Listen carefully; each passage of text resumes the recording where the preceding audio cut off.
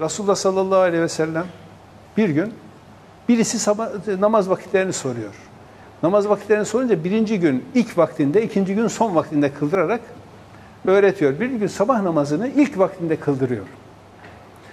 Bu bunu söyleyen sahabi diyor ki ilk vaktinde sabah namazını kıldırdı.